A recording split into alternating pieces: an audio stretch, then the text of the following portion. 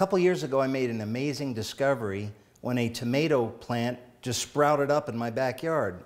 I didn't plant it, no, none of us planted it, it just grew there all by itself. And the testing geek that I am, I had to check those tomatoes for ORP and see what their ORP was. So I pulled a tomato off the vine and I cut it open, put my ORP meter in it, and I was very surprised, pleasantly surprised, that I had a negative 50 ORP.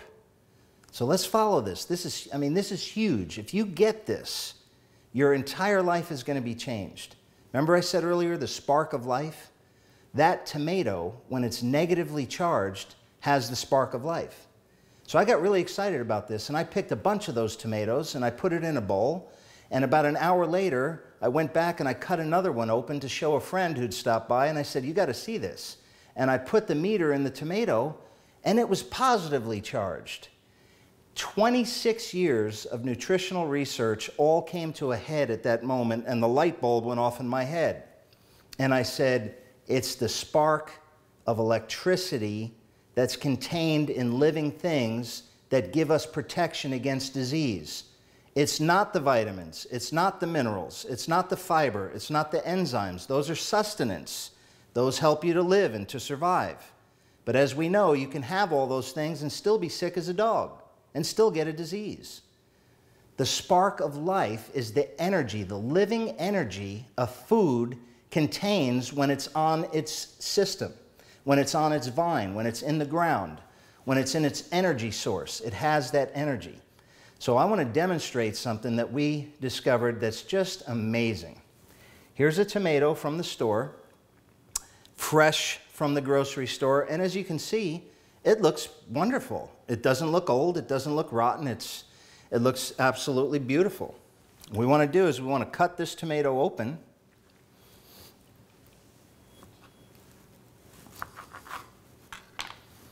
I'm going to take my ORP meter and I'm going to put it inside that tomato. Now let's see if I can juggle this all with one so everybody can see what's going on here. Now here we are in the tomato and it is dropping. But even if I hold this an hour, it's still going to show as a positive charge. Now remember, when this tomato was on the vine, it was negatively charged. So now what I've done here is I've taken some standard alkaline water, just a 9 pH Chanson ionized water, and I've put a bunch of fruits and vegetables inside here. And I want to show you what happens now. So let's take this our standard store-bought tomato, we'll set it off to the side. Here's one of our tomatoes that have been in the 9 pH water. And notice I've, I was very careful not to break the stem off. I didn't want to create a pathway for water to go in. We'll cut this open. Take our meter again. I hope I don't squirt this all over my shirt here. Can we see that? Anybody getting excited? I'm excited just looking at it. And here's my favorite part of this whole demo. Mm. The flavor is unbelievable. We have taken dead material and we've revived it. Unless you have a garden growing in your backyard, where you can go out every day, pick your fruits and vegetables, put them in your mouth, you're getting dead sustenance. Dead. When you have one of these alkaline water ionizers from Chanson in your home, you have living energy to revive your fruits and vegetables with. You can do anything. Broccoli. Living broccoli. We've got living broccoli here. Strawberries living energy in the strawberries, tomatoes, heads of lettuce, cabbage, cucumbers, peppers, whatever you want to name can be brought back to life. Now, it's kind of a weird um, comparison, but I like this comparison because it's, it's so accurate. And some people are starting to call me Dr. Frankenstein. Now, let's think about this. What did Dr. Frankenstein do? He took a dead hunk of flesh he put some metal bolts in its neck, raised it up to the roof.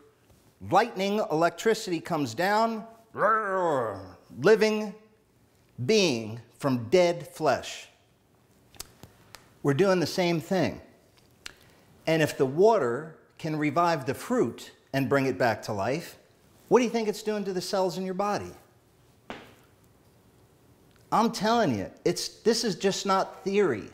We've been eating our fruits and vegetables like this, and I've been getting the feedback from customers for almost five years now. Even though I made this discovery a couple years ago, we've been rinsing fruits and vegetables. We just didn't know that the water was doing that to the fruits and the vegetables.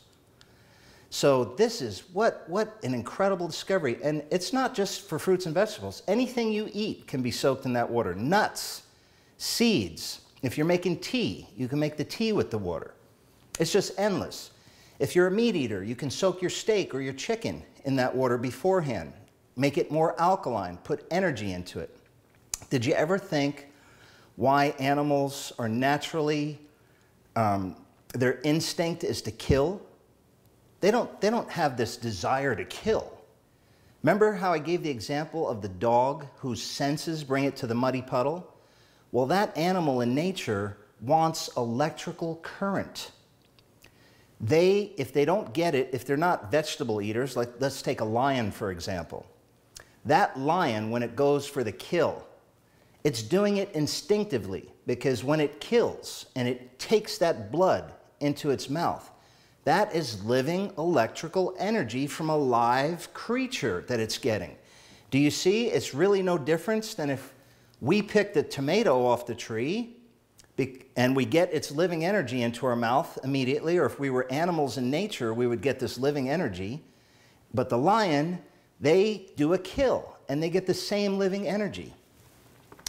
One thing that I found really fascinating is in the wild animal world, they don't have the sickness that we have, the cancer rates, the diabetes rates. The animals, I'm talking about animals that don't wash their hands, they don't rinse their fruits and vegetables. They roll around in their own poop and pee, and they're living longer and healthier than we are. Do you think one of the reasons could be that they eat live and they get this electrical energy in their body? Incredible.